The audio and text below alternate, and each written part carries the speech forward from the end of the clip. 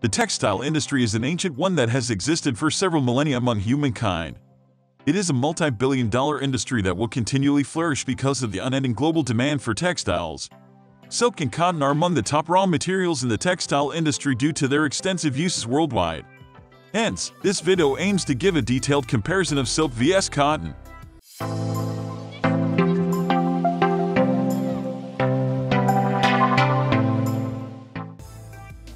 Silk and its development. Silk is a naturally grown fiber that is rich in protein. It is primarily made of fibroin and is chiefly manufactured from insects to create cocoons. Silk has a glimmering look because its fiber structure is like a prism. The material redirects every ray of light set on it, making it look colorful. The origin of silk can be dated back to ancient China at the tail end of the Stone Age. A princess known as Lingxi found the existence and use of silk around 4000 BC. Only the royals used it when it was first adopted because it was highly regarded and set apart for only the elites. China dominantly manufactured and used the clothing material until 3,000 years later, at the advent of the Silk Road. Years after the Silk Road's creation, silk production spread to other parts of the earth. Although there is a tremendous global demand for silk, its cultivation and knitting is a long and strenuous activity. While it aids rural regions in lessening poverty, it is primarily produced among the Chinese and Indians. According to the International Sericultural Commission, about 1 million silk workers make up the Chinese population. Other countries like Thailand and Brazil are significant manufacturers. Although silk is chiefly developed from silkworms, also known as moth caterpillars, some insects that produce silk include beetles, flies, ants, lacewings, crickets, and spiders.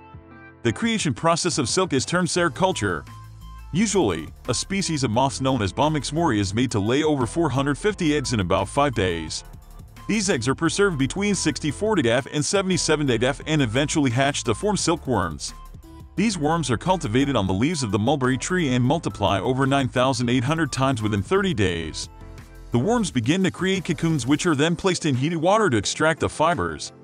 Each cocoon can produce up to about 920 meters of thread, and these threads help create yarns. Alternatively, these cocoons can be dissolved in chemicals that make the line stiffer than usual. Cotton is a smooth and soft fiber known to grow on balls or shielding covers that lay over the cotton seeds. While cellulose is its principal constituent, other significant components include water, wax, pectin, and fat. You can find it in North America, South America, India, and some parts of Africa. Usually, its fibers are turned into either threads or yarns to produce long-lasting, wicking, and soft textiles. Cotton has different historical backgrounds, originating from several regions from the Neolithic period. Southern Asia has the oldest evidence of cotton use from ancient times. Its cotton chronology is dated to almost 6000 BC in historic India, which is today referred to as Balochistan in Pakistan. The American continents also have a cotton account from the 5th millennium BC. However, archaeologists do not fully accept this claim. However, Mexican cotton has been validated to have begun within the 3rd and 2nd millennium BC. During this period, Mexican citizens produced, dyed, and knitted cotton. Peruvians also made cotton around the 4th millennium BC. In Peru, cotton was designed into nets and traded as fishing materials to neighboring regions. Iran, formerly known as Persia, has a historical background that shows traces of cotton usage around 500 BC. There is also information that reveals cotton's use in Iran before it was Islamized. Sudan has traces of cotton in its history. It began in the Kush kingdom around the 5th millennium BC.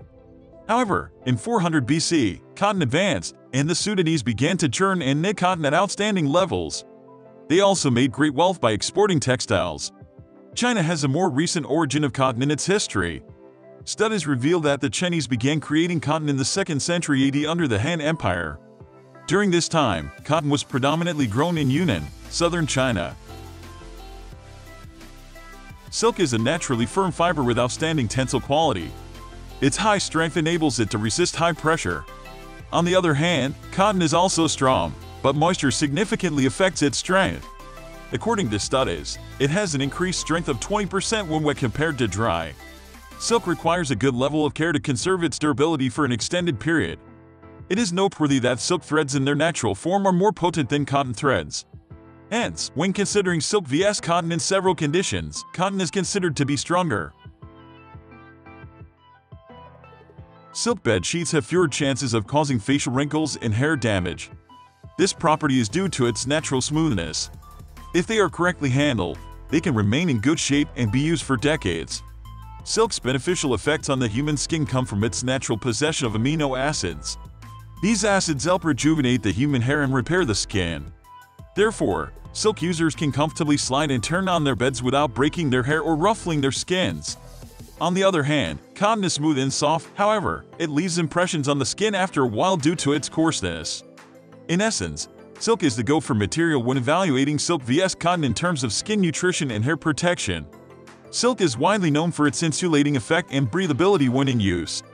Although breathable, cotton is not structured to lock the heat in. This is why silk is mainly used for cold periods and is comfortable during hot weather. Silk naturally has slight tendencies to cause allergies. Also, it is a sound emitter of sweat instead of an absorber. This sweat-emitting property keeps bacteria away from the skin and reduces its washing frequency. An example of its use case is face masks. In contrast, cotton is not non-allergenic, which leaves its users exposed to different lines of allergies. Also, cotton absorbs and locks in sweat, making its users prone to contracting germs and diseases. In Silk vs Cotton Safety Analysis, silk is safer.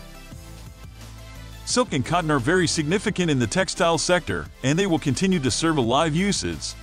This video reveals that although both materials can last long, silk is firmer than cotton during use.